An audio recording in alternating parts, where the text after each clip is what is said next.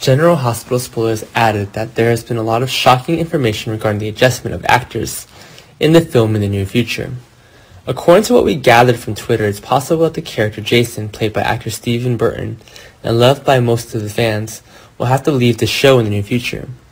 Besides, a prominent character like Jax, played by the actor Rademacher, will also be the same. After all, the actors at the soap opera were inevitably affected by the vaccinations required to prevent COVID.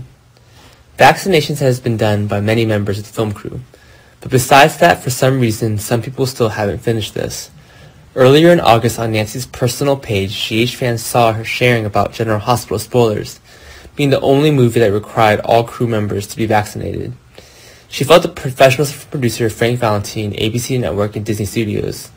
They all are aware of the epidemic prevention and is a wise position of Disney to take control of ABC. Starting November 1st, Grant adds that to participate in the full set of immunizations, each person will be provided with a separate vaccine card. It wouldn't be too surprising if Steve and Ingo fell into this category, as GH fans as well as the actor knows that he is the one who has voiced his own opinion on the matter. In the end, he did not hesitate to express his opinion on the matter of not wanting to participate and did not hide it. And that is probably the reason why he will not be on screen in the near future. Besides, GH fans also understand that there are too many details for his character Jax to show anymore.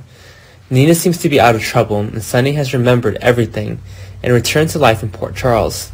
Now his daughter Josslyn has a life of her own. She doesn't even need her father's help anymore, so it doesn't matter whether he appears on the GH screen or not. Besides, the spoilers reveal that the opening and closing details here will make the plot more interesting.